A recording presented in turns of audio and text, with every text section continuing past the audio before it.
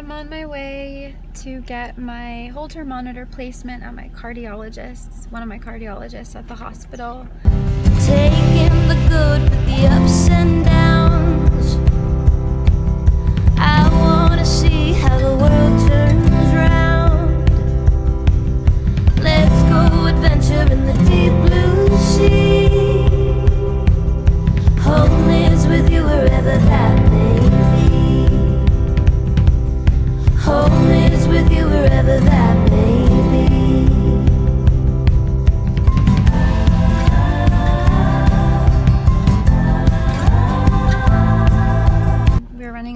but thankfully we live very close to the hospital, so yeah, that's my update for now. I will try to film when I'm at the hospital.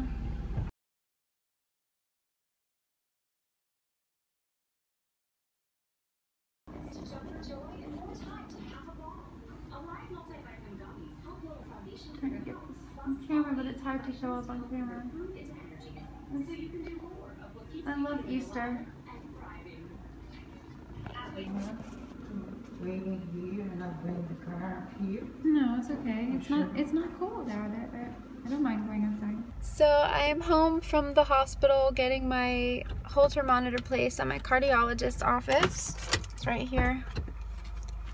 Um, I'll show you better later, but um, it's beautiful outside. I'm so happy to be out on a beautiful day, and I'm happy that the weather's getting warmer. It is officially spring. I think today is the first day of spring. So happy spring, everybody. And yeah, it's like in the 60s. It's going to be in the 60s and 70s all week. So I'm really grateful for that. I was hoping to go to Whole Foods to pick up some vitamins and some food, but I really don't have the energy for that, unfortunately. I have to go home and rest. I'm getting out of breath. Um, but yeah, I will probably just do a little update on why I had my Holter monitor placed and everything when I get in the apartment after I take a little nap and get some food in me.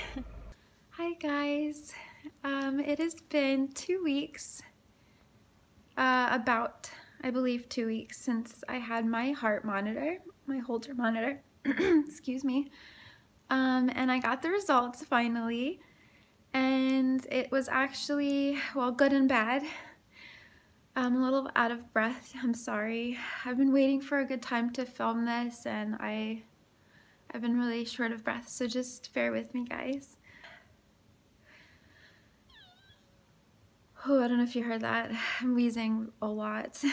Um, but yeah, I so I'm, I'm having VTach or ventri uh, ventricular tachycardia, as well as SVT or supraventricular tachycardia. I think that's what it is. Um, apparently, these are like um, uh, abnormal heartbeats in both my upper and lower chambers of my heart. Um, so they are arrhythmias and they are probably related to the valve disease. However, I they compared my Holter monitor to the last one that I had and it actually was a little bit better, surprisingly, than my last one that I had before valve disease. Um, before heart valve disease, and before um, my daily IV fluids, mind you. So I think the big difference was my daily IV fluids. I have had heart monitors since um, the IV fluids, but not a Holter monitor specifically, which is a constant heart monitor. Um, the heart monitors I've had in the past were event monitors where I just pressed the button when I had a symptom and then it recorded at that moment but the Holter monitor is a heart monitor that's like constantly recording. It's essentially a really long EKG or electrocardiogram. So it's constantly monitoring the heart waves, the heartbeats, electrical, you know, all that stuff. Um, so it's actually much more um, like in depth than just like an event monitor. So it was really good to have the Holter monitor to see that even though I'm having supraventricular tachycardia and ventricular tachycardia, which um, apparently the ventricular tachycardia is more dangerous and I'm having more SVT, more supraventricular tachycardia. Um, so that's good. However, I'm still having a lot of dangerous palpitations and this monitor was only on for two days.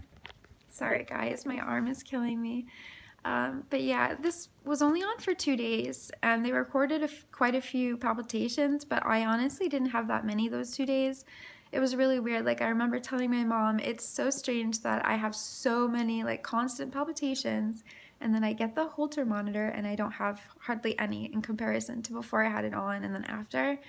For whatever reason, those two days, my heart was being really good and so I think we're gonna have to do it again and maybe for a week next time to see, um, to get like a better idea of what's really going on. Um, but I was told that I might need to go on a medication to control my heart rhythms. Um, I think it was called Im Imidrone something like that i'm not sure. I when i if i find out before i fill uh, if i find out before i finish this vlog i will put it up on the screen. But yeah that was i just wanted to update with the heart monitor results um, the holter monitor.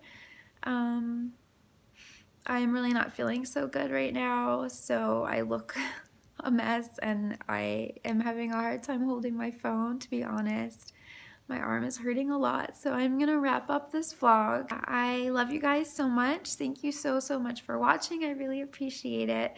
If you like this vlog, please, please give it a like and please subscribe. And I will see you guys in my next video. Bye.